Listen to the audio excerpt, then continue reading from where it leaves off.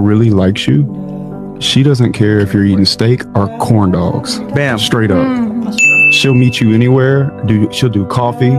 She'll do a walk in the park, man. She wants your time. So um, if, if you have a girl that you're messaging, let's say on social media or something like that, and she won't meet you just for a simple ass coffee, then she doesn't like you, bro.